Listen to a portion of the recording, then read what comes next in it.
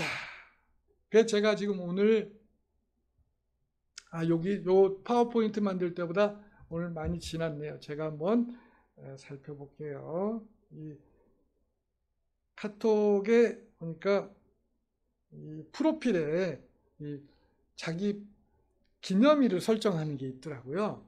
우리 아들한테 배운 건데 제가 조깅을 시작한 지 그 날짜가 제가 2018년 8월 31일부로 퇴임하면서 운동하기 시작했기 때문에 그때를 시점을 했더니 D 플러스 1077 오늘 1077일을 조깅을 했습니다. 그래서